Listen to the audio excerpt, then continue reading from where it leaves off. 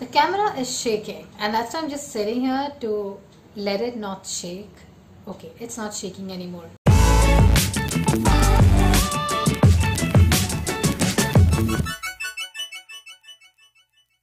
Hey guys, so we are finally at this place which is called the announcement of the final book that we're reading for the group read.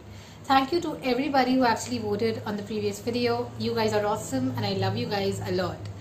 Um, so basically, we had a very very tough competition, especially between two to three books um, in during this whole week, and I was you know making a mental count of, of all the books. But then we had a nice surprise winner, I think. Uh, I think in the last couple of days, I would say, or like later on after two to three days of posting the video, the count for this number one book kind of increased.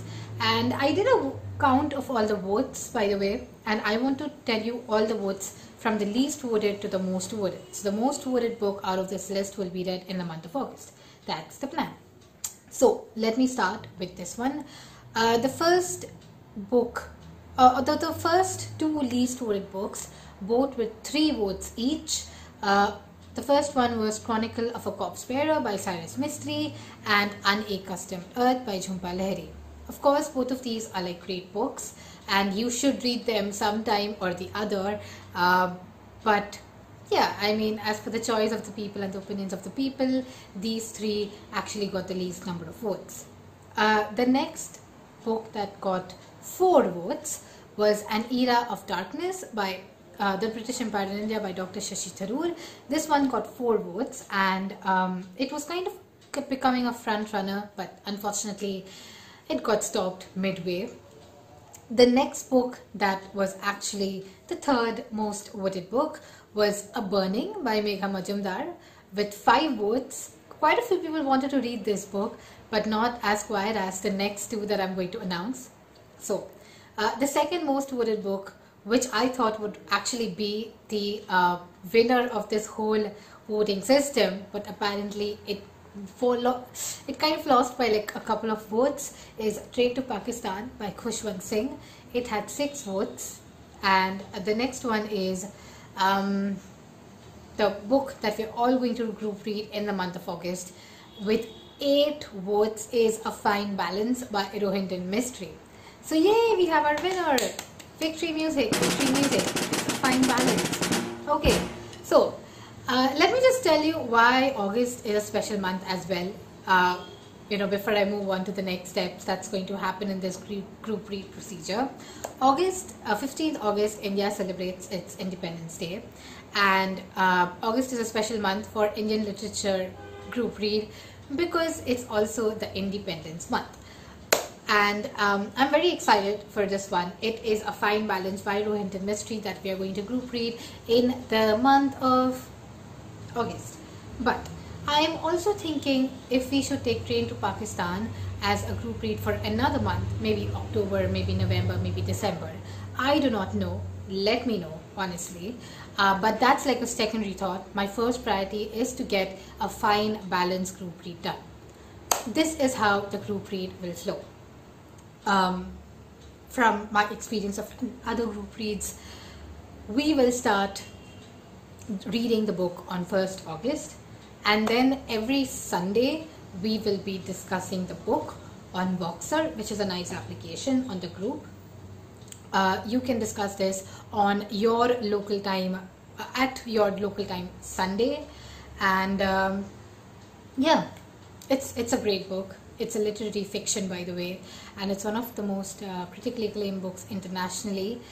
Um, also if you do not have uh, access to physical books during this pandemic period i do have the ebook of a fine balance. So if you want i can send it across to you. You can add this ebook on your tablet or you can add it on your kindle.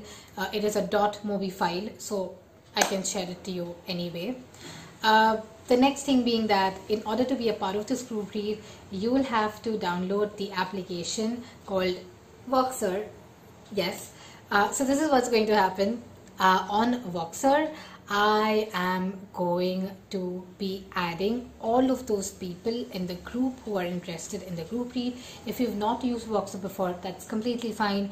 Go to the iOS Play Store, whatever, wherever you get your applications from, download Voxer and you have to register with your phone number and your email ID. But the good part of this is that if you're adding someone else on the platform, they won't be able to see your email ID or phone number. Okay, but uh, for adding a friend, you need to use their email ID. That's all. So it's a safe application. You don't divulge any details to any strangers or something. So it's pretty cool download Voxer. My email ID on Voxer is for something good at gmail.com. So the email ID is right here and in the description box as well. Add me on Voxer and then I will add you onto the group for the group read which starts on 1st August. So yes, this is the start or the announcement of the group read. I think there are there is some time where you can order the physical book if you prefer physical books, but if you cannot afford a physical book or you cannot get one during this time, like stated, please tell me and I will email you the ebook. So that's nice. Um, I think that's it. This was like the suspense that we were keeping for so long. And thank you once again. I hope this group read becomes a success. Meanwhile, if you have friends, family who want to read this book as well, who want to join this group read, of course it is open to them the voting system was just to see what would the majority prefer but if you didn't vote at all you're still welcome to join honestly it's open to everyone so that's it. Uh, I will look forward to all your Voxer friend invitations and I will see you on my weekly reads this week. So see you next time. Bye